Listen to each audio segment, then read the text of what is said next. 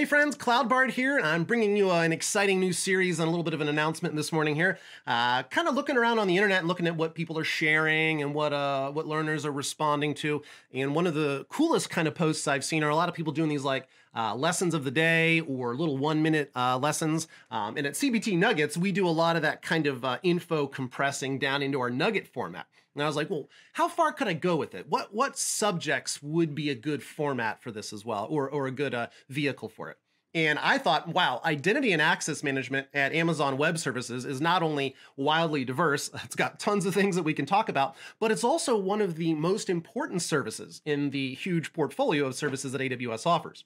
So, this Monday, I am proud to announce the launching of my one minute identity and access management lessons. Uh, and today, we're going to start off with, in the spirit of a one minute lesson, talking about the root account. So, here's my challenge. Get myself ready here, talk about this one minute challenge. So when you first set up your AWS account, the root user is the account that gets created uh, and has that email address that you provided when you originally registered.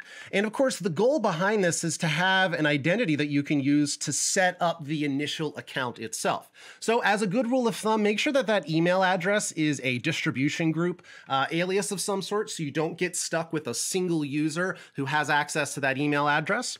Beyond that, remember that the root user is all powerful. Okay, so they can perform all the actions on all of the services by default.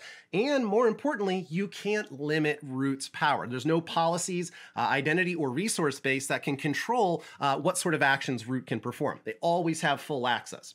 This means that the most important thing you can do is make sure that you only use it to create other admin accounts and then don't use the root account day to day. Use these other administrative accounts instead.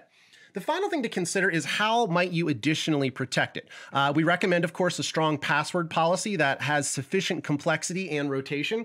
And also make sure that you have your multi-factor authentication enabled using either a hardware fob or one of the software options. Fortunately, most of this activity is something that AWS checks for you. And so when you log into your account, you can see right away whether or not you have multi factor enabled. Do you still have your access keys sitting around? And whether or not you have a password policy. Looks like I got a little bit of work to do. Maybe we'll see that in our next one minute identity access management lessons. See you next time.